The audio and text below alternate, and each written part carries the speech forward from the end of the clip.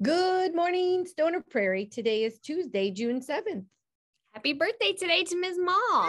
Happy birthday. What's for lunch today, Carson? June 7th, Tuesday, it'll be cheese pizza, fresh fruit and veggies, dessert, and choice of milk. How about tomorrow? For June 8th, Wednesday, it will be Bosco sticks, marinara sauce, fresh fruit and veggies, dessert, and choice of milk.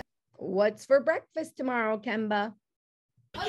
On June 8th, Wednesday, we're gonna have bug bites, mozzarella string cheese, fresh fruit, fresh fruit, juice box, and choice of milk. Let's finish off our scoop today with some gratitude. Today, we challenge you to write a letter or draw a picture to share your gratitude with someone who has helped you this year. Let them know what that help meant to you. I like that a lot, Miss Schlitz. Well, have a great day, Stoner Prairie, and remember to be safe, Be kind be responsible, and be a problem solver. have a great day.